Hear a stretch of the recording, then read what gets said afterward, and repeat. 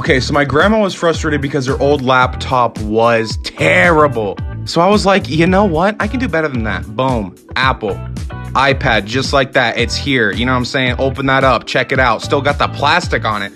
Oh, yeah. We gotta get grandma right. You know what I'm saying? But wait, we need accessories.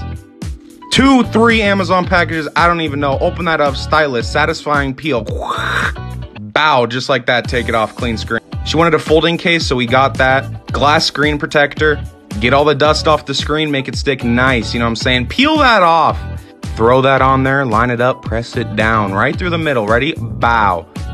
Let it go across, don't freak out.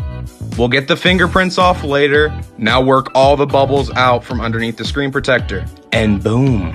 You know, I had to cop the stylus for Gma, you know what I'm saying? But that's the finished product. I really hope she likes it. And I love the color. Almost forgot keyboard. Boom.